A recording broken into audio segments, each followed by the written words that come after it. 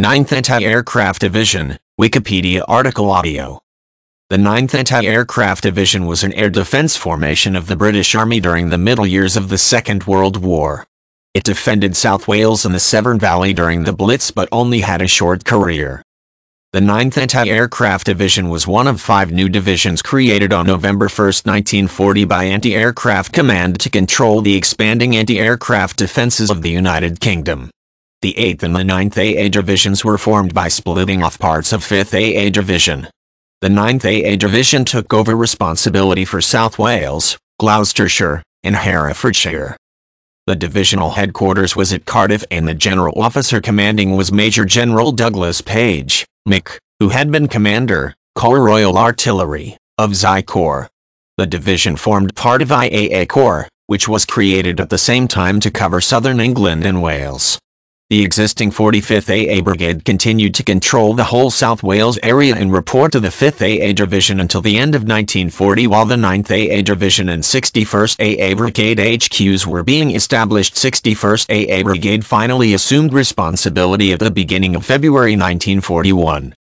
Of the formations and units assigned to the new division, a number had served with the British Expeditionary Force in the Battle of France and had been reformed and re-equipped in the Severn Valley in West Wales after the Dunkirk evacuation. The others were mainly territorial armies units formed locally just before the outbreak of war. At the time the 9th AA Division was created, the towns of South Wales, including important coal and oil port facilities, refineries, steelworks and ordnance factories, were under almost nightly air attack to which the AA defenses replied as best they could. The division's fighting units, organized into three AA brigades, consisted of heavy and light gun units and searchlight units of the Royal Artillery. There were major concentrations of HAA guns in the gun defense areas at Cardiff and Swansea. LAA units were distributed to defend vulnerable points such as docks and Glascoed Royal Ordnance Factory, while the SL detachments were widely spread and crossed brigade boundaries.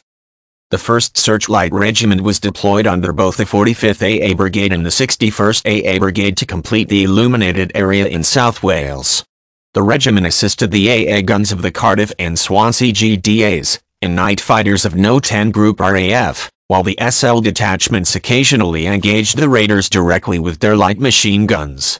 Meanwhile, the 37th SLRGT and the 5th AA Brigade had one battery operating the Cardiff-Newport Dazzle area. Others were at Hereford and Stonehouse, Gloucestershire, the latter also providing homing beacons for aircraft returning to RAF Colerne and RAF Moreton in Marsh.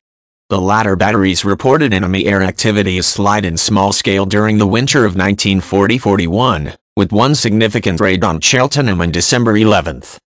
There was enemy air activity over the Bristol Channel and South Wales coast on most nights, but usually these were reconnaissances or nuisance raids, Heavier raids began against Cardiff and Swansea in January and February 1941. The Luftwaffe began a new tactic of hitting the same towns on successive nights in an attempt to put them completely out of action. Swansea was the first town so attacked. On the night of 19-20 February the building housing both the regimental HQ of the 79th HAARGT and the gun operations room of the 61st AA Brigade at Swansea was destroyed by a bomb during a heavy raid. Two officers and five other ranks were killed or died of wounds, but the guns continued firing under local control and communications were maintained. The Luftwaffe returned to continue the Swansea Blitz on the nights of 20-21 and 21-22 February. On the latter night, there was confusion between the sector operations room at RAF Pembrey and the Swansea GOR, resulting in the gun ceasing fire between 2020 and 2110 but no night fighters arriving leaving the town center unprotected. Although some raiders were shot down once the restriction was lifted, the center of Swansea was devastated, and fires and delayed action bombs destroyed communications. The GOR had to be temporarily relocated to Neath. By the end of February 1941, the HAA guns in the Cardiff and Swansea GDAs only numbered 52 and 18 out of a planned establishment of 64 and 36 respectively. These had been increased a month later to 56 and 36, though further additions to the establishment were already being called for. The position on LAA gun sites was worse, only small numbers of Bofors 40mm guns were available at the start of the Blitz, and most WA attachments had to make do with LMGs. The division's composition during the Blitz was as follows.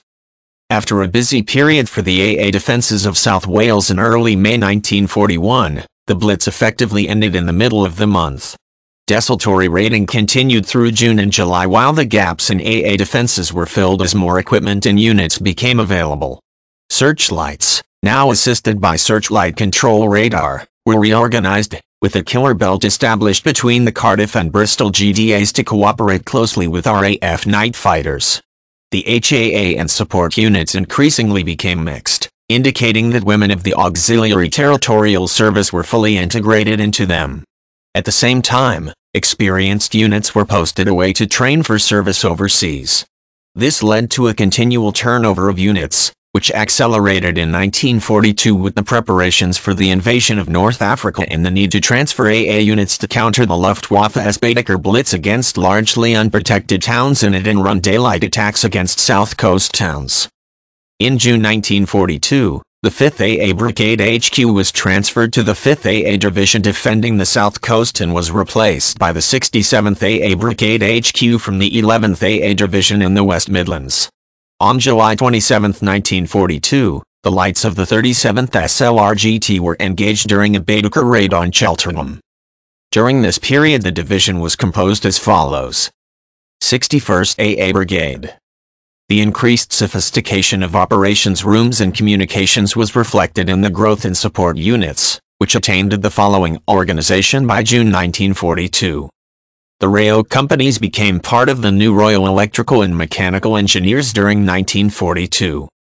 A reorganization of AA Command in October 1942 saw the AA divisions disbanded and replaced by a smaller number of AA groups more closely aligned with the groups of RAF Fighter Command. The 9th AA Division re-merged with the 5th and the 8th AA Divisions into the 3rd AA Group based at Bristol and cooperating with No 10 Group RAF. The following officer commanded 9th AA Division,